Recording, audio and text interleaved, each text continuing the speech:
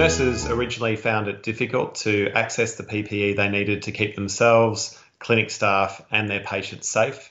But as PPEs become more available, they've been able to not only adapt how they work within their clinics to maintain uh, appropriate levels of safety and infection control, but also to make sure the health needs of patients have been met. And the introduction of telehealth has further enhanced their ability to do that. The Australian government made the right call with uh, enabling nurses by extending services for chronic disease patients um, to be provided by general practice nurses. These changes have the potential to put a nurse into the home of every Australian with a chronic disease. And this has been great news for patients with conditions like diabetes and heart disease who are staying at home for fear of contracting the coronavirus. It means that nurses they know and that they trust are able to reach out and provide monitoring and support as part of the practice team. And this is critical for patient safety. We can't afford to have a second wave of disease sweep through Australia from chronic disease after we've actually managed to um, get past the COVID 19 pandemic. So, telehealth has been a great addition. It's an important step forward for the treatment of vulnerable patients and their monitoring during this time, but it's also a great opportunity for us to explore how telehealth can actually improve broader chronic disease care in Australia post the pandemic as well? Um, well, I live in Millfield. It's um, in Hunter Valley, New South Wales, and I've since I was um, been going to all these appointments. My wife's driven me, and you know, from Cessnock to Sydney for most of my other appointments. I'm able to provide Lee with quite a lot of support actually, and not just Lee, his family as well.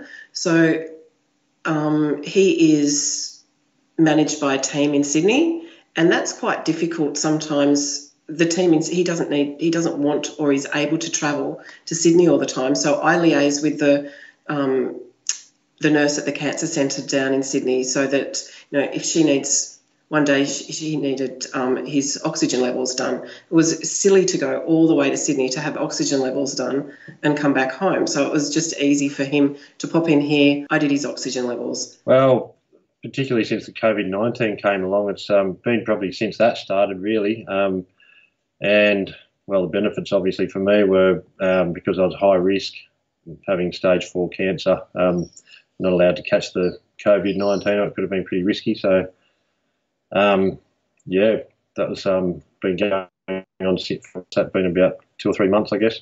And yeah, advantages are well, not having to travel to Sydney was handy, but um, also just to stay healthy. Yeah, I've been pretty well housebound for the last five six months.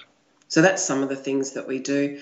Just um, wound checks, um, making sure his medication's okay. Providing emotional and social support for his family has been very important too. Um, they've been on a roller coaster ride for the last few months and they weren't expecting him to survive at one point. So being able to have someone to touch base with and just provide reassurance, and TLC has been really important, and they've really appreciated it. Well, from infection control to flu clinics, practices need a nurse now, and they need them more than ever as part of their general practice team. There are so many ways that nurses contribute to the healthcare team, and some of them are risk uh, identification, screening, triage, implementing and overseeing quality and infection control procedures, coordinating flu clinics, and ensuring the safety of staff and patients, but also care planning and identifying and contacting at risk patients, recalling them, and ensuring their ongoing care.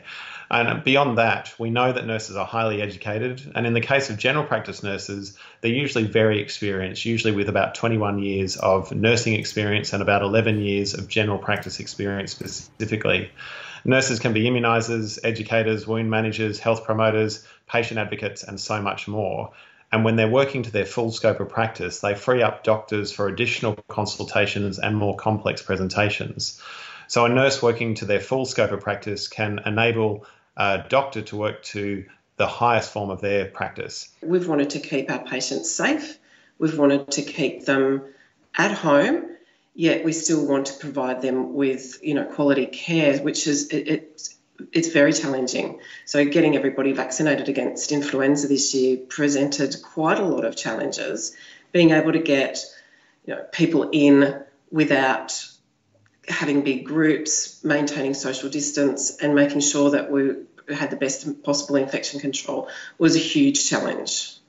But we managed to vaccinate about a thousand people in the last three weeks. So I think we've done pretty well there. Well, Catherine would call us and, and you know schedule appointments and say you know you need to.